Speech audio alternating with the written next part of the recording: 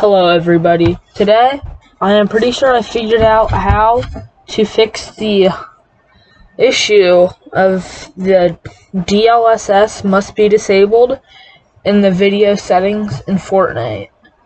Because it could make your character look really pixelated and not good.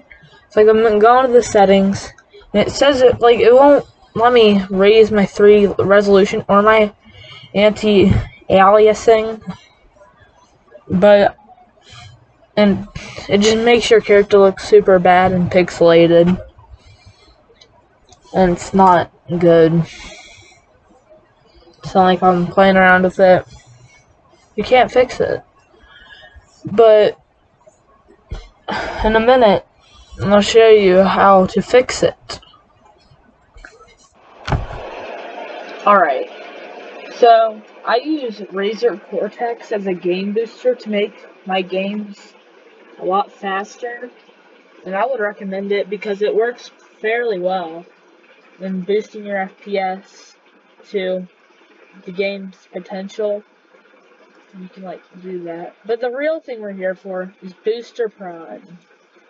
In Booster Prime, it shows all these games that can be boosted good, but there's a problem. See, when you click on it. This is the real reason that it says the DLSS is on. So all you have to do is just click click revert. Now it's fixed. So let's head back to Fortnite and let's see the fixed DLSS. Alright, so, so now I'm back in Fortnite.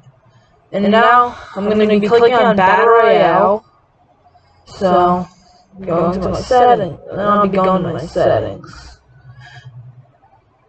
Right there. Now my character looks better. Then in my settings, look at that. The 3D resolution can be changed. And the anti-aliasing too. And you don't have to use the presets to raise it.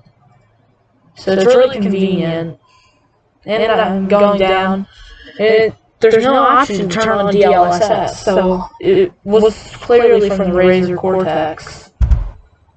So if you found this video helpful, make sure to like and subscribe, because, I don't know, because I want more subscribers.